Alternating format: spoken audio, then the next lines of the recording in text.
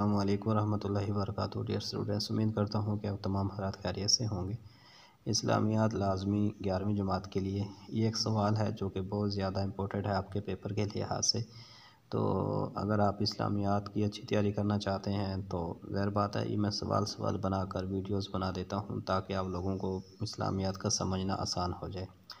तो आज के सबक में हम अकीद आखरत के बारे में जानने वाले हैं। ठीक है, अकीद आखरत यानी आखरत यानी मरने के बाद वाली ज़िंदगी को आखरत कहा जाता है। लेकिन मफहम इसका यहाँ पे आप समझ लें। कहते हैं, आखरत के मानी है बाद में होने वाली चीज़ और दुनिया के मानी है करीब करीब की चीज़ यानी करीब की दुनिया, दना या दनू दनूवन कहते हैं। करीब होने को और आखरत तो ज़ाहिर बाद वाली चीज़ को कहा जाता है।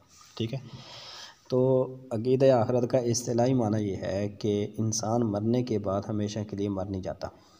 ठीक है? बल्कि उसकी रूह जो है वो एक ख़ास मकाम पर मुंतकिल कर दी जाती है। फिर अल्लाह ताला जब चाहते हैं, उस रूह को जिसमें मुंतकिल फरमाते हैं। और क़्यामत के रोज़ पे लोग कब्रों से निकलेंगे और अल्लाह ताला की बारगाह में हाज़िरी होगी। तो दुनिया में जो कुछ अमाल किए हैं, उस अमाल के मुताबिक आखरत में बदला मिलेगा। जो नेक लोग हैं, अल्लाह पाक उनको जन्नत नसीब फरमाएँगे और जो गुनाहगार हैं, अल्लाह ताला माफ़ करे, शायद उन्हें जहनुम में न जाना पड़ जाए, क्योंकि कुरान करीम की आयत से ये बात समझ में आती है इन अबरार नफ़ी नईम व इनफ़ुजार लफ़ी जहीम, के जो नेक लोग हैं, अल्लाह ने उनके लिए बहशत बना रखी है।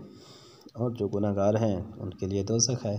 इसके बाद किताब वाले कह रहे हैं कि आखरत के सिलसिले में कुरान मजीद की तालीमत का ख़ुलासा क्या है? नंबर एक कहते हैं कि इंसान की दुनियावी ज़िंदगी उसकी आखरत की ज़िंदगी का पेश खैमा है। दुनिया की ज़िंदगी आर्जी और आखरत की ज़िंदगी चाहे वो हमेशा वाली है। इंसान के तमाम अमाल के पूरा पूरे नतज उसकी आर्जी ज़िंदगी में नहीं मुरतब हो सकते।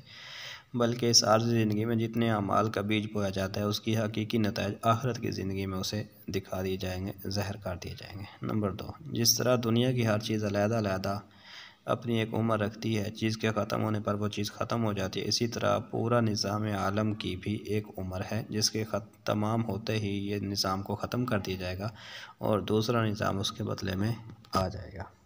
ठीक है? नंबर तीन, जब दुनिया का ये निज़ाम दरम बरम हो जाएगा और एक दूसरा निज़ाम कायम होगा तो इंसान को फिर जिसमानी ज़िंदगी मिलेगी। एक रोज़ एक ज़बरदस्त अदालत लगेगी, जिसमें इंसान के तमाम अमाल का हिसाब किया जाएगा।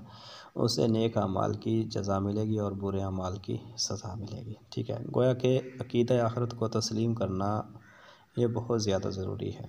और अल्लाह ताला भी कुरान करीम में अरशाद फरमाते हैं, कुरान करीम में कई मकाम ऐसे हैं कि जिसमें अकीद आखरत की मुकम्मल तौर पर जो है वजाहत की गई है। लिहाजा इस अकीदे से इनकार करना इस्लाम और कुरान की तालीमत से इनकार है। तो ऐसे शख्स का दीन इस्लाम से कोई वास्ता नहीं रहता जो अकीद आखरत का मुनकर हो जाता है। आगे नीचे सवाल आ रहा है कि मुनकरीन आखरत के शुबहत और उनका कुरानी जवाब। दुनिया में कुछ लोग हैं जो कहते हैं कि जी मरने के बाद कोई ज़िंदगी नहीं है, लेकिन है, ये पूरा अकीदा है, एक ज़बरदस्त कॉन्सेप्ट है। और इस्लाम के अटल फ़ैसले हैं कि मरने के बाद एक नई ज़िंदगी मिलती है और उसकी अपनी तरतीब है, जो कि कुरान करीम में और से पाक में बयान किया गया है।